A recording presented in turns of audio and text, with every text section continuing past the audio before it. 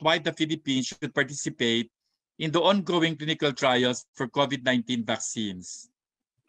Considering the current limitations of our country in terms of vaccine development, participation in clinical trials of the most advanced candidates developed by our international partners will be the best short-term strategy for us.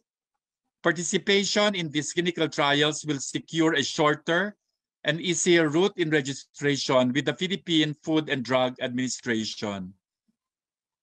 By pursuing collaborations and by participating in clinical trials, we are hoping to, one, provide efficacy and safety data for a vaccine that is directly attributed to the Filipino population, two, generate necessary long-term data on safety and efficacy of vaccines, which are also necessary for CPR application, even for vaccine candidates with an EUA.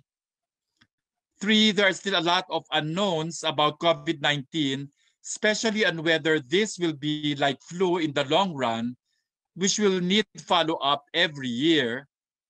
And fourth, with the new COVID-19 variants being identified, tweaking of vaccine candidates or their dosing schedule may also be needed to improve their efficacy, and clinical studies are needed to confirm this.